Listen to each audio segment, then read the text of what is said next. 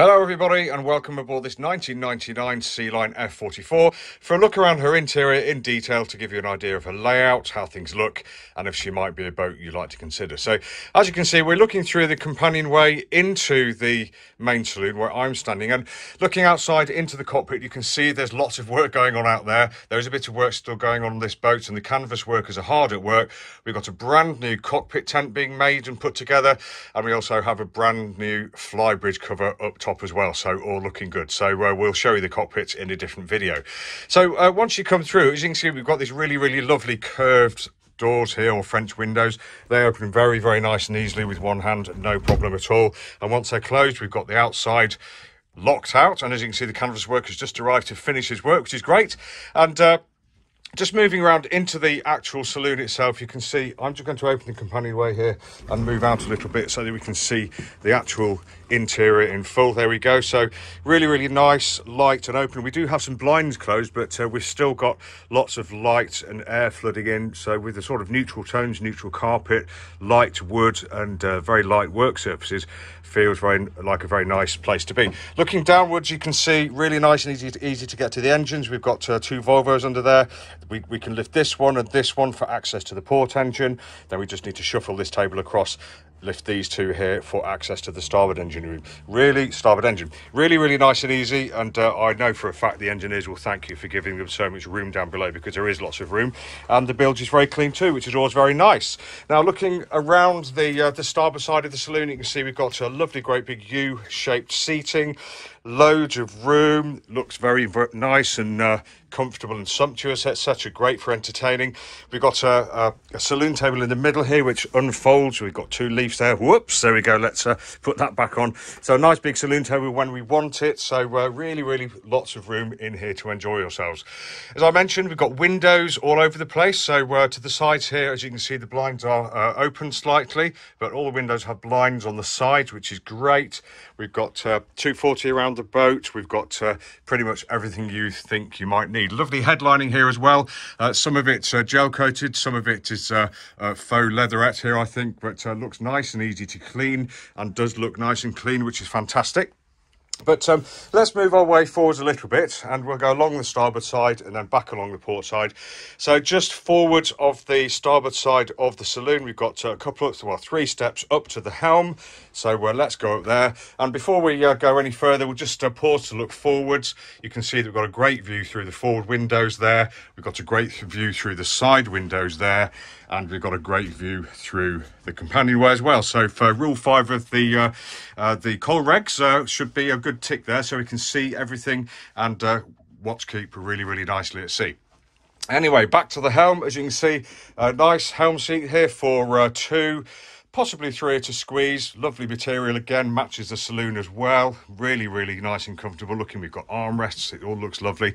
Nice big helm wheel here. On the, uh, in fact, I'll just go up and take a seat. Let's pretend we're at the helm. So we've got uh, within really easy reach, we've got the uh, the wheel here, rudder angle indicator. Here we've got uh, the autopilot, we've got compass, we've got depth, echo sounder, we've got speed there as well. Down here we've got uh, the uh, the keys, We've got uh, the bow thruster, stern thruster controls. We've got the throttles, etc.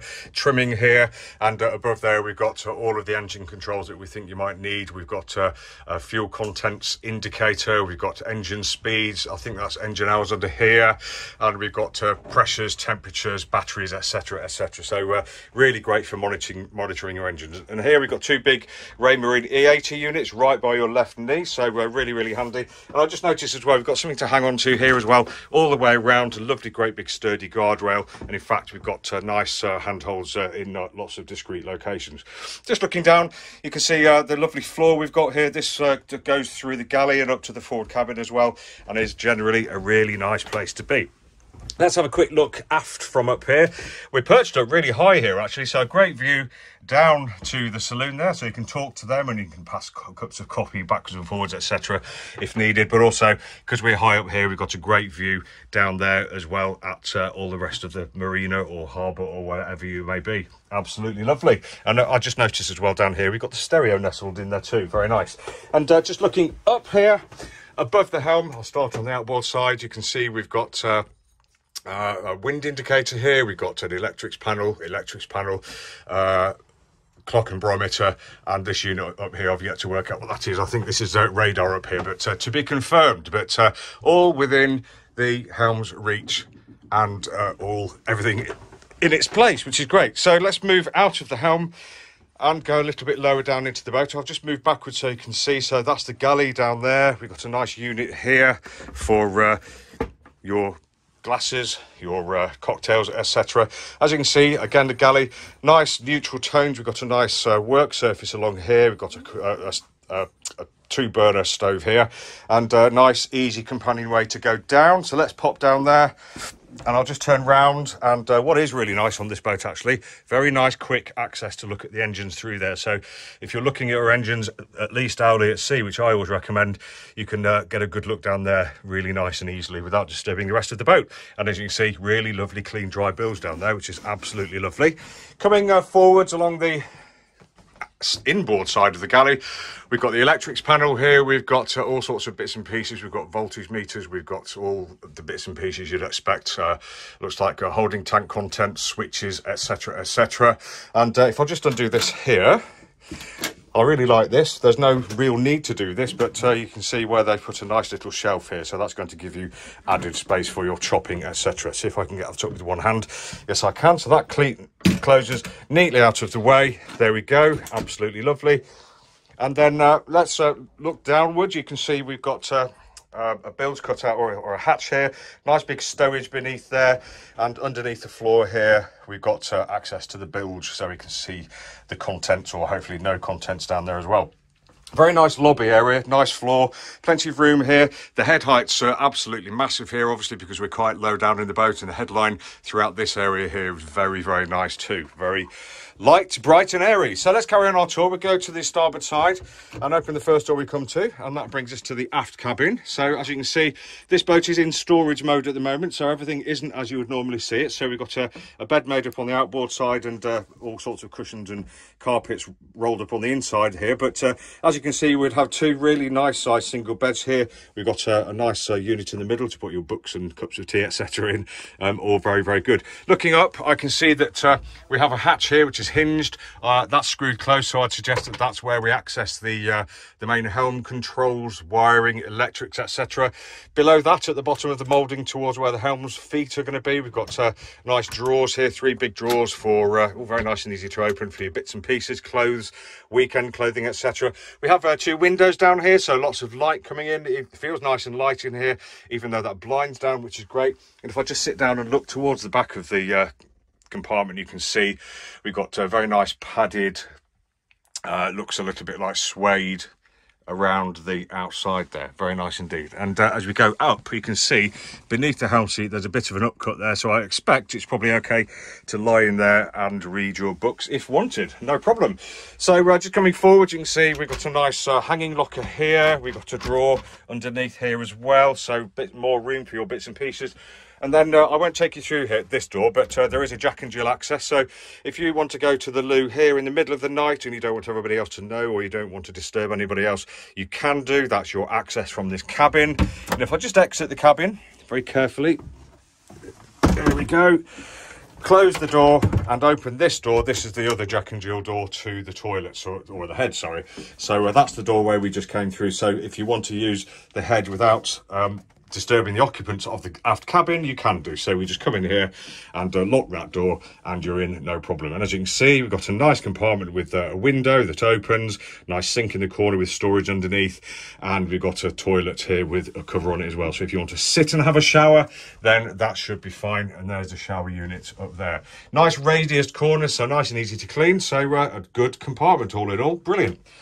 So let's close the door to that and we'll look at uh, one of the pièce de résistances of this cabin. There you can you can see, uh, oh, there we go. Hi, there's Tim.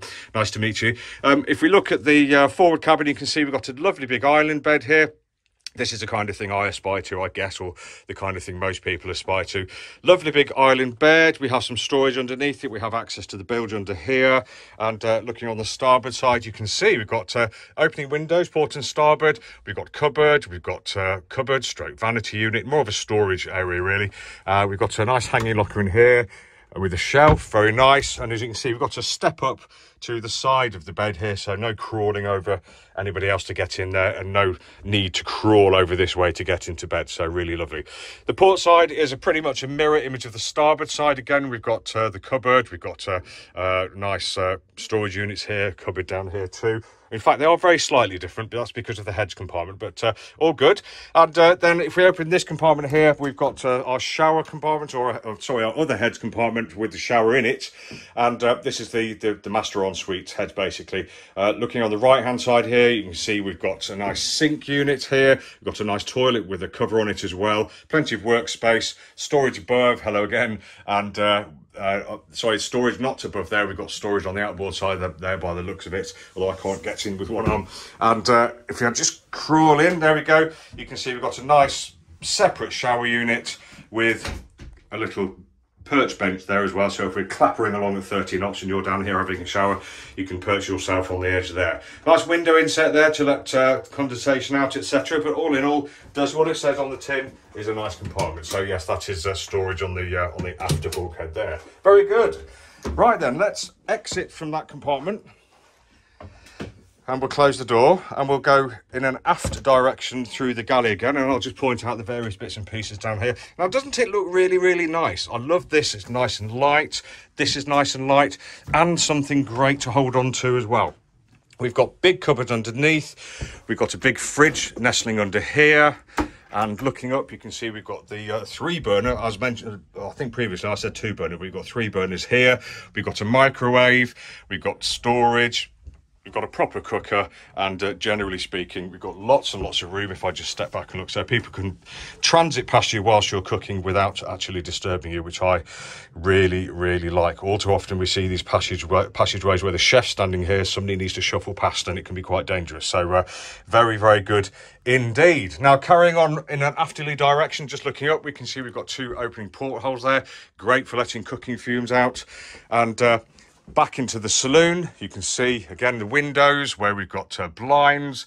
We've got open, an open window there, sorry, window opener there. And just uh, looking up again, you can see all a nice headlining. We've got very thoughtfully placed uh, handrail here as well, actually. So when you come in through the companionway, you can lurch this way if you need to, grab hold of that and make your way forwards until we can then transfer to this handhold here to go down to the galley. Really, really like, and I've just noticed that. On the uh, port side of the saloon, we've got a two-seater sofa here. Again, looks like very, very nice upholstery, feels nice and sumptuous. And that leads back to a small TV cabinet. So you've got a TV nestling inside there and a few other bits and pieces. And underneath here, we've got a nice fridge unit for use in the saloon. All very, very good.